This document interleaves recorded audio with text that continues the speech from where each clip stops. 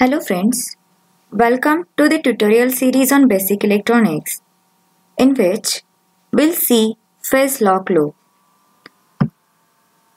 In this tutorial, we'll focus block diagram of PLL, its explanation and working, concept of lock range and capture range, characteristics of PLL, analog phase detector and digital phase detector, and applications of PLL.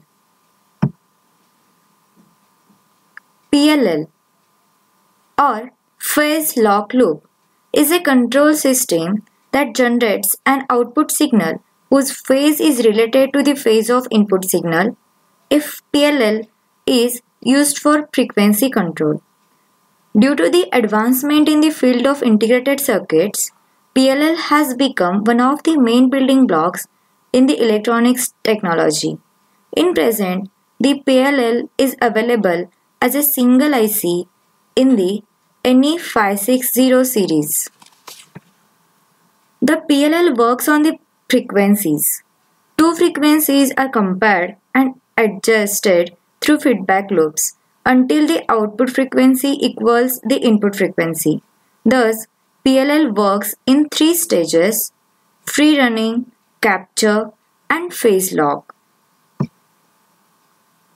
The PLL consists of three basic blocks such as phase detector, low pass filter, and voltage control oscillator. Let's see individual block in brief. As name suggests, phase detector detects the phase of signal with respect to reference and produces the output proportional to the phase difference.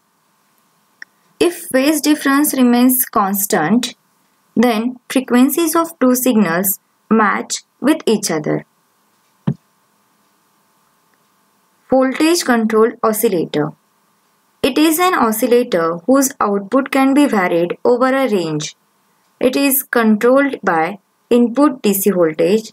By varying DC voltage, output frequency of the signal produced is adjusted. LM566 is a general purpose VCO which generates square wave and triangular waveforms.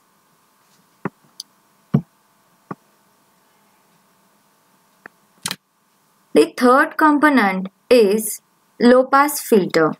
It is a simple RC network. It determines loop stability. It removes high frequency components in the output of phase detector and it also removes high frequency noise and produces a steady DC level.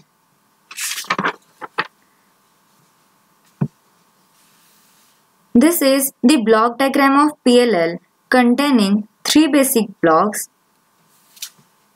This output is fed back to phase detector through feedback path.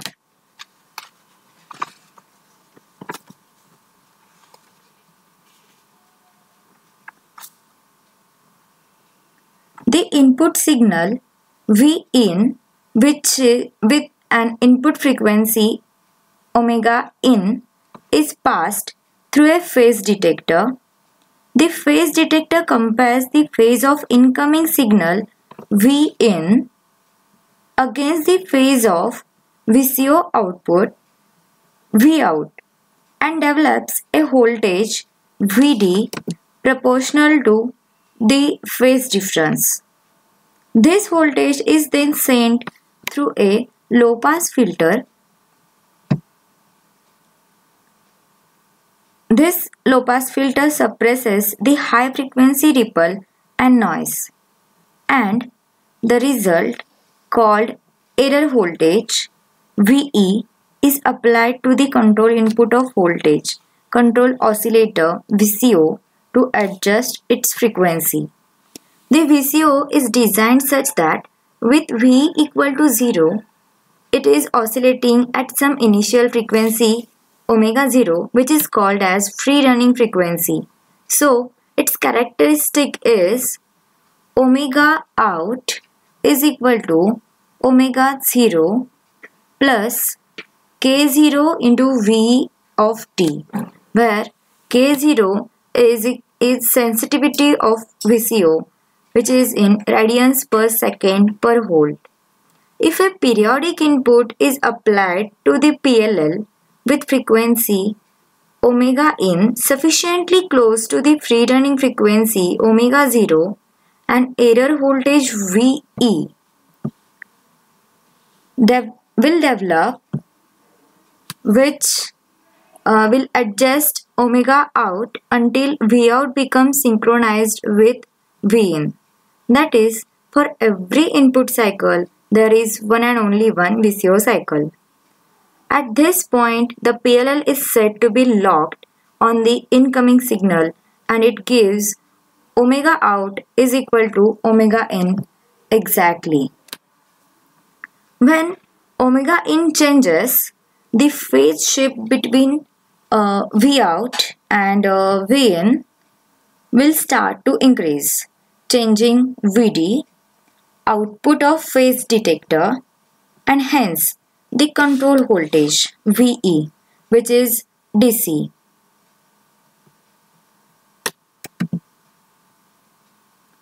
Um, this change in VE is designed to adjust VCO until omega out is brought back to same value as omega in.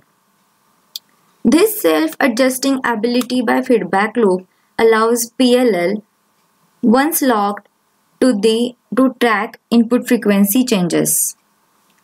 A noisy input will generally cause the phase detector output VD to jitter around some average value. If the filter cutoff frequency is low enough to suppress this jitter, VE will emerge as a clean signal, in turn resulting in a stable VCO frequency and phase. Thus, we use omega out output of PLL whenever we wish to recover a signal buried in noise and also in frequency related applications such as frequency synthesis and synchronization. Similarly, we use VE as the output of PLL. Whenever we wish to detect changes in omega in as in FM and FSK demodulation, since a change in omega in is ultimately reflected by change in omega e.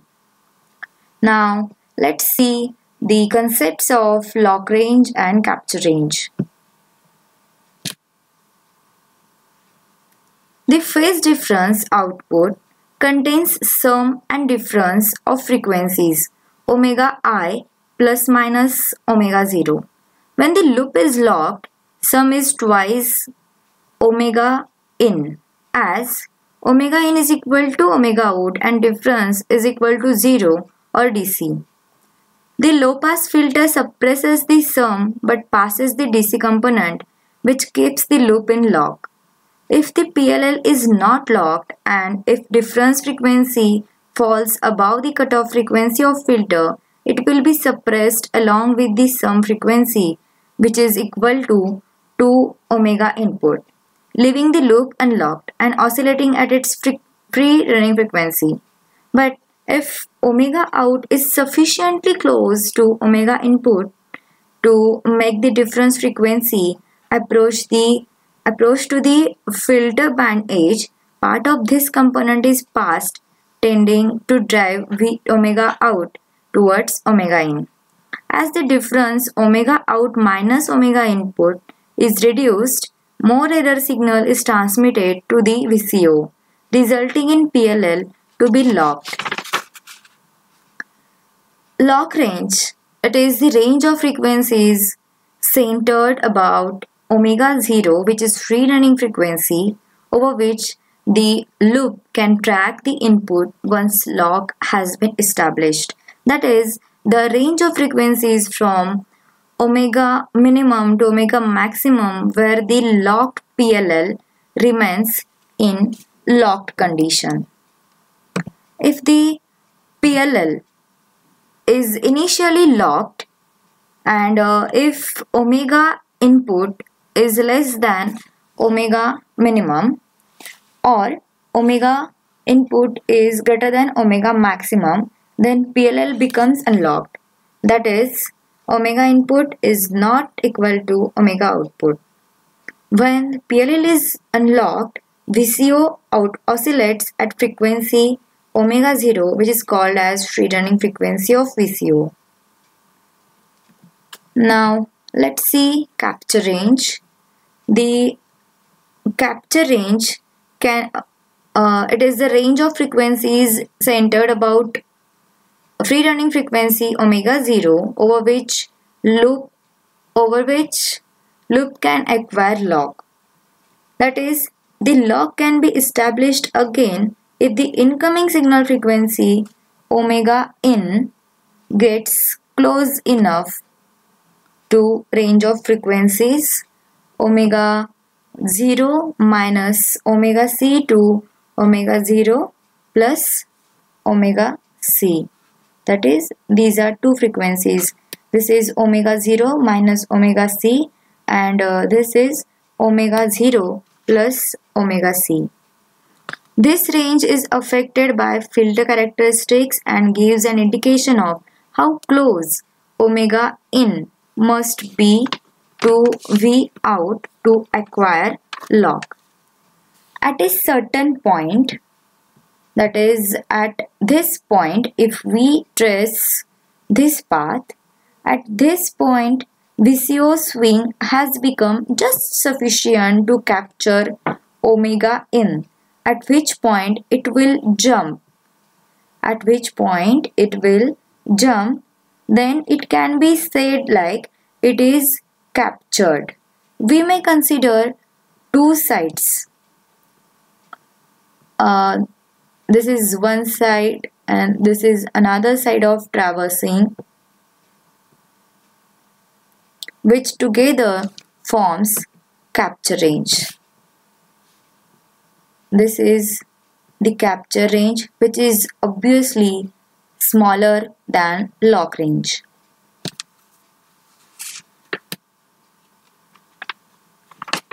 Now let's see some characteristics of PLL. Pull-in time which is also called as capture time it is the time taken for a PLL to capture the incoming signal. This time depends upon initial frequency and phase differences between V input and V output, filter and other loop characteristics. Bandwidth is the second characteristics uh, characteristic and uh, it has the following effects if it is reduced. Uh, capture process becomes slower capture range decreases, pull-in time increases, and uh, interference rejection capabilities of loop increases. Now, let's see the types of phase detector. Phase detector is designed to be driven by analog signals or square wave signals and produces an output pulse at different frequency. As we uh, studied or, or as we seen earlier. This analog phase detector needs to compute the phase difference of its two input signals. Let's consider alpha is the phase of first input and beta be the phase of second input. The actual inputs to phase detector will not be alpha and beta but uh, will be sine alpha and cos beta. Computing phase difference would involve computing the arc sine and arc cosine of each normalized input and doing a subtraction. Such a difficult calculations can be simplified by using some approximations. So assume that small phase difference and uh, by assuming by using small angle approximation for sine function and sine angle addition formula which yields the phase difference alpha minus beta which is equal to sine of this angle phase difference alpha minus beta is given by the mathematical identity sine of alpha into cos beta minus cos alpha into sine of beta. This expression suggests that two multipliers and one adder is needed which forms a quadrature phase detector. Instead of using two multipliers, a more common phase detector uses a single multiplier and a different trigonometric identity. As such, sine alpha into cos beta is equal to sine of alpha minus beta that is phase difference whole divided by 2 plus sine alpha plus beta whole divided by 2 which can be approximate as alpha minus beta which is phase difference divided by 2 plus sine alpha plus beta sine of alpha plus beta and whole divided by 2. The first term, this first term provides desired phase difference and the second term is a sinusoid at twice the reference frequency so it can be filtered out. Now let's see another phase detector that is digital phase detector. For square wave signals that is digital signals, digital phase detector is used. It can be made from an exclusive OR that is XOR logic gate as its truth table here suggests for equal inputs XOR gives 0 output. For equal inputs XOR gives 0 output. When two signals differ in phase by 1 degree, the XOR gate's output will be high for 1 by 8, 180th of each cycle. That is the fraction of a cycle during which two signals differ in value. Applying the XOR gate's output to a low pass filter results in an analog voltage that is proportional to the phase difference between the two signals here you can see this is the first input and this is the second input which is XORed and we get this pulse for uh, varying for different phase that is for this instant particular instance V1 is high and V2 is low so we get high voltage high output otherwise we get low output. So this is all about digital phase detector. Now let's see the applications of PLL where it is used. PLL that is phase lock phase lock loops are widely used for synchronization purpose. For example, in bit synchronization, symbol synchronization.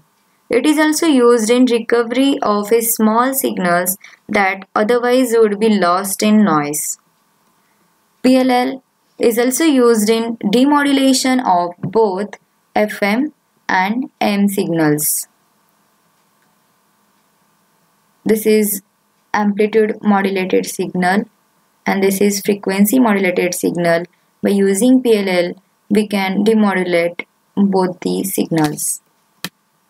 Another application is in radio transmitters. A PLL is used to synthesize new frequencies which are a multiple of a re reference frequency with the same stability as the reference frequency. Where radio transmitter is an electronic device which when connected to an antenna produces an electromagnetic signal such as in radio and television. In space communication also, PLL is used for coherent demodulation and threshold expansion. Uh, threshold extension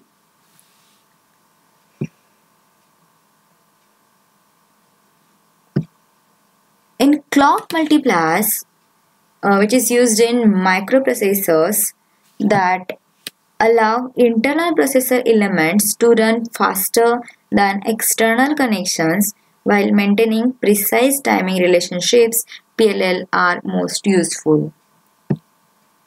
PLL are also used in tone de decoders.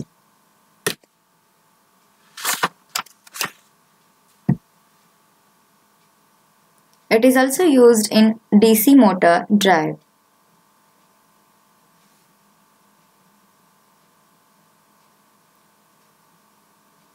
This is all about PLL, its working, its characteristics and its applications. Please like us on www.facebook.com slash WCE ELESA. For any suggestions or for any queries, please visit our site walchand.elesa at gmail.com. Thank you friends.